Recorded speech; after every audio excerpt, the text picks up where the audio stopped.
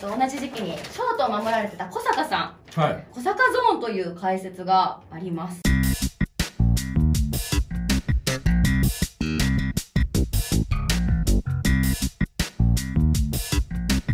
初芝さんが、えー守備の時にサードベース半径1メートル以内しか動かないと。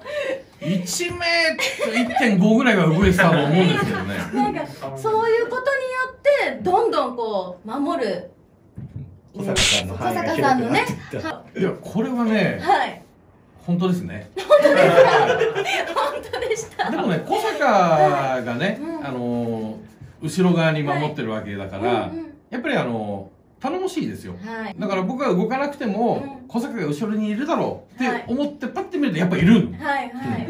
で一回ね打球に飛び込んでうわ取れなかったと思ったら普通小坂が真正面で解けてすごい。あれ？とかいや俺いらないじゃんって思ってピッチャー陣の方からはい。邪魔するなと、そういう声もちらほら。っうん、もあるしゲッツー取りたい時はサードに打たすな。ってていうのもあったみたいで。それ本当ですか？いやもそう言われましたよ。でもネタで言われてるほどうん。守備苦手じゃ全然ないですよね、自分ではそう思ってないのはあるんですけど、うん。まあでもねファインプレーでねテレビ出たこともないですし。はいでもゴールデングラブもね。ないよ。なないよゴールデングラブ。ごめんなさいベストナインでした。ベストナインはあるけど。ゴールデングラブなんかもう縁がないわ、ベストナインでした。すいません。うん三塁のファールグラウンドの打球っていうのが、はい。もう後ろに飛んでてもちょっと前に追いかけるとかそういうちょっと複雑な打球の追い方なんですよ。へだからこれがファーストのファールぐらいはそうでもない俺ファーストもやったことあるから、はいはいはい。全然こっちの方が楽じゃんと思って。あじゃあもう場所によって本当に吹き方が。もうサードはねね。あの待ってるからはい。でも大体こうナイターだとうん。高く上がるとボールがね見づらいんすごい。はい。どこにあるかわからない。うん。だからそうするとある程度こっちかなこっちかなって予測しながら動くんだけどでそうすると肌から見ると全く違うところにいるように見えるのね。うんでもね。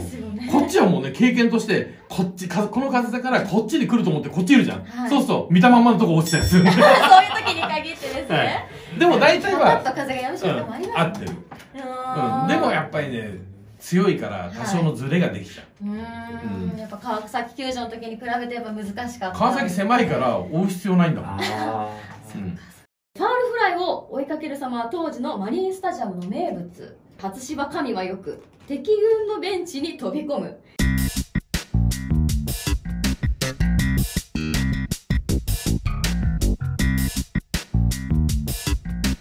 西武戦の時が多いんですよね。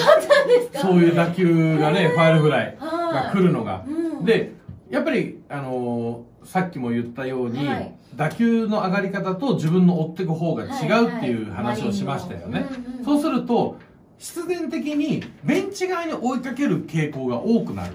はい。打球に対して、うんうん。でそうするとはい。野球選手ってずっとボールを見ながらうん。追いかけるわけじゃないのでそうですよね。一回目を切ってそこら辺だなっていうのをある程度予測しながらはい。走るんだけど前を向くと西武ベンチの選手と目が合うわけね。そうするとみんなもう笑ってるのは分かるわけ。でややりづらいですね。そうそう。はいあ俺やるなやるなって思っちゃうわけ追いかけながら。うん。うん、でそういうの考えてると自分でブレーキかんないでそのままベンチ突っ込んじゃうんだよね、うん、でもそういうことがよく起き西武ベンチの温かいのは俺がベンチに入るようになるとはい。みんなこうあのブロックししようとしてくれるの、さ支えてくれるっていううん、れはねそれぐらい温かい。になってたんででもビスターの球場とかで、はい。あの僕らが三塁側に入って自分のチームでしょ、はいはい。そうそうそうなるとみんな逃げるんだよね。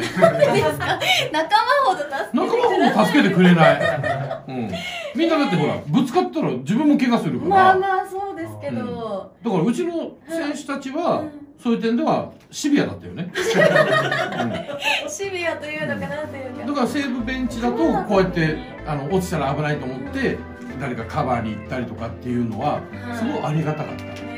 だから突っ込みやすかった、突っ込みやすかった。うん、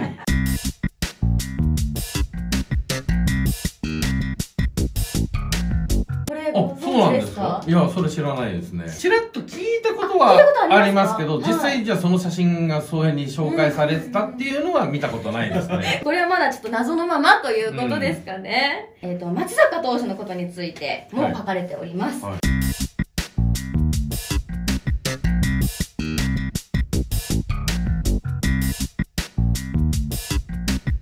まあ、そのねか、松坂投手がはい。ルーキーイヤーの時に、まあ、3本ホームランを、まあ、打ったわけですけれども、はい。その印象が強いんじゃないですかね。もう最初のねホームラン打った時はもうさっき言った通りですよ。うん。もう超満員のお客さん。はい。ほんでも味方につけて。う。松坂投手ね幕張2回戦っていうね、そうですよね。もうそれだけでもうテンション上げ上げだから、うん、でも一応スキマは三振してるはずですよ、初対戦試合3打席目ですよ。だったと思いますね。はい、そういうことか。うん。もうその1試合目の、そっか、3打席目。うん、でそれがまた先制のホームランだったので、ピねッチャーロッテが黒木だったのかな、はいはい。うん、それの投げ合いで、うん。うん、だったんで、余計にねうん。もう興奮してもう映像をその時の見るんだけど、はいはい。やっぱりこうベンチに帰ってきて、うん。もうめちゃくちゃハイタッチしてるっていう大人げないよいやねいやいや、もう。ね。いいじゃないですか。ね相手なんて19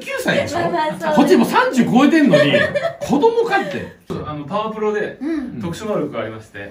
え長谷川教室を選ぶとパワーヒッターと松坂キラーと、松坂キラー。チャンスに強いとか出てくるんですようーん。松坂さんと対戦すると八代さんめっちゃ打つんですねえ そういうのもねやっぱ 印象的にあるんでしょうねぱそうなんですね。僕ね対戦すれば対戦するほどそのうち松坂嫌いになりましたからねなんでですか？松坂嫌いから松坂嫌いになってそこ一発で突っ込んでよそこ